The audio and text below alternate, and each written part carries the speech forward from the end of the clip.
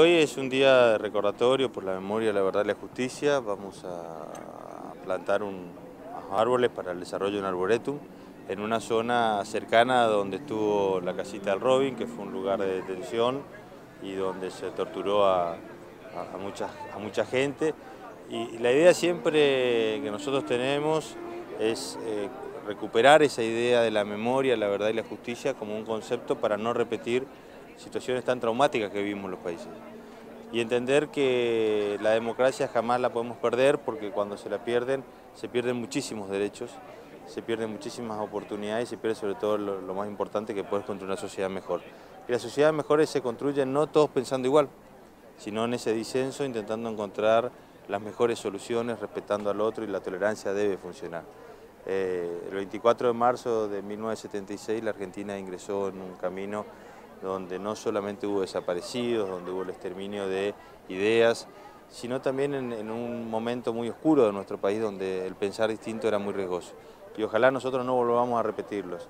Y las formas hay que sostenerlas siempre, no solo se intenta terminar desde la violencia, sino también muchas veces desde otros mecanismos. Así que para mí es un momento para recordar a, a las víctimas de los desaparecidos de la última dictadura, pero también un momento de reflexión para que en la Argentina nosotros valoremos la, posibilidad de tolerarnos y disentir eh, entre aquellos que pensamos distinto. ¿no? ¿Cómo ve la situación hoy en la Argentina A ver, insisto, me parece que cuando permanentemente miramos que la descalificación al otro, al adversario, eh, creo que no es el camino. Me parece que se puede y debemos entre todos nosotros aspirar a la construcción de una sociedad muchísimo más tolerante y que desde la paz pueda construir. Sabemos que vamos a tener posiciones diferentes, por supuesto, porque las sociedades se construyen con, con diferentes, no con solamente iguales.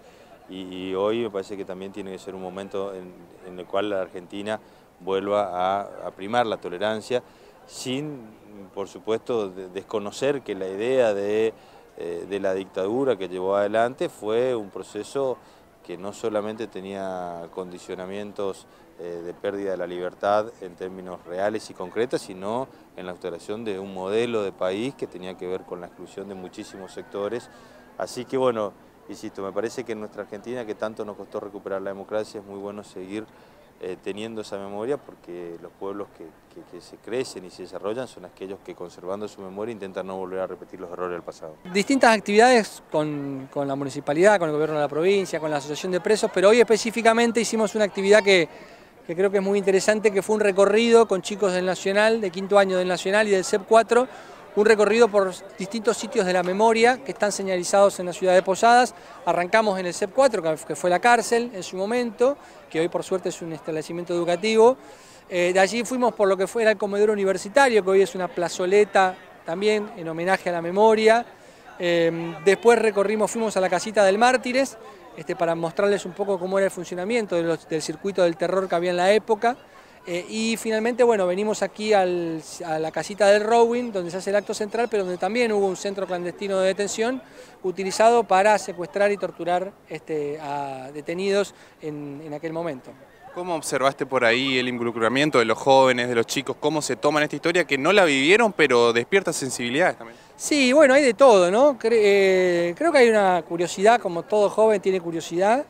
Yo lo que veo es que los chicos tienen como muy naturalizada la cuestión de la, vida en democracia, lo cual es muy bueno. Son jóvenes que nacieron en democracia, que han vivido toda su vida en democracia, y me parece que lo tienen muy naturalizado y por ahí les cuesta un poco imaginar o dimensionar eh, que puede haber otra forma, ¿no? Y bueno, la dictadura cívico-militar fue otra forma, una forma una terrible, nefasta, eh, y ese me parece que es el gran desafío, ¿no? Lograr que estos chicos valoren la democracia, eso que, lo que tienen tan naturalizado, que lo valoren justamente a partir de esta experiencia tan terrible que nos tocó vivir a todos los misioneros, eh, a todos los argentinos en general, a los latinoamericanos en general se podría decir inclusive. Eh, pero bueno, hubo mucho interés, por ejemplo, en preguntar, bueno, cuántos detenidos hubo misiones, cuántos desaparecidos, cómo funcionaba el, mecanismo, digamos, de, secuestro y, de, traslado de los detenidos. Este, eh, bueno, ahí en la casita de mártires me hicieron bastantes preguntas también. Eh, recordamos la figura de Miguel Gato Sánchez, que fue presidente de la Unión de Estudiantes Secundarios en la época y que fue detenido y asesinado por la dictadura por reclamar el boleto estudiantil gratuito para los estudiantes, algo que hoy todos los estudiantes disfrutan. Entonces, bueno, la, idea era, bueno, cada vez que se suban a un colectivo y no paguen, piensen en el gato Sánchez que dio la vida por ustedes, digamos, y por, por este objetivo que ustedes tanto disfrutan. Bueno, establecer esos lazos y esos puentes entre el pasado y el presente para darle otra dimensión y otro significado a lo que ellos tienen hoy. Tienen democracia, tienen el boleto estudiantil gratuito, pero eso no, surgió de la nada, no surge de la generosidad de un gobierno, sino que eso es fruto de una larga lucha donde cayeron muchos en el camino y eso es lo que estamos recordando en estos días. Hoy eh, salimos a, eh, con el historiador, salimos a investigar un poco, a informarnos un poco del el día de hoy, de la eh, verdad y justicia. Y creo que vamos a finalizar con un acto.